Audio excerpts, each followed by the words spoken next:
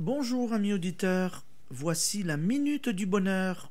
Et aujourd'hui, le bonheur est une habitude. Vous aurez du mal au début à maintenir vos pensées au sommet de la bienveillance et de l'espoir, souvent contre l'évidence même. Mais vous savez maintenant que chacune de vos pensées est une pierre que vous ajoutez au palais de vos rêves ou au tombeau de vos projets. Cela doit vous aider à persévérer. Dites-vous bien ceci. Nous ne pouvons penser qu'à une seule chose à la fois.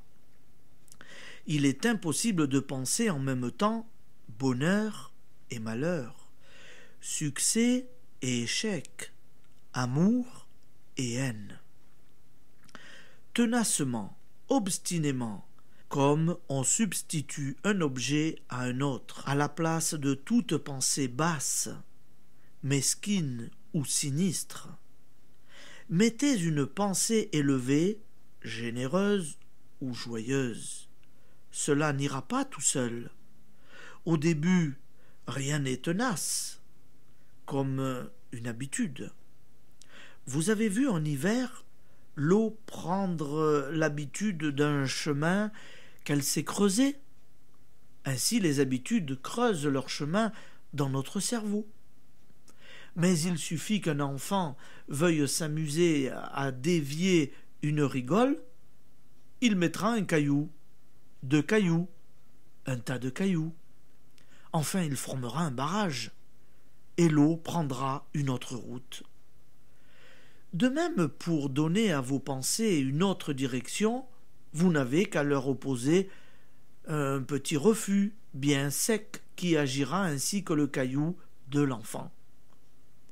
Ce petit refus répété aussi souvent que l'occasion s'en présentera finira par créer un obstacle infranchissable, et vos pensées quitteront la rigole négative pour prendre le chemin positif des heureuses réalisations.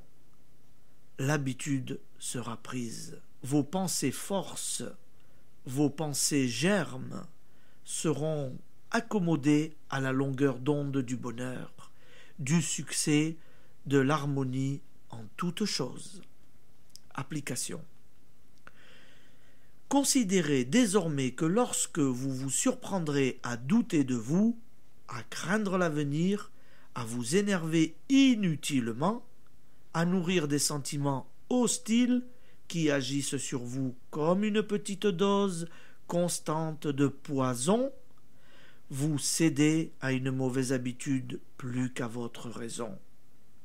Arrêtez ces pensées tout nettes et prenez les habitudes mentales propres à l'acquisition du bonheur. Merci et à demain, amis auditeurs. Bonne journée.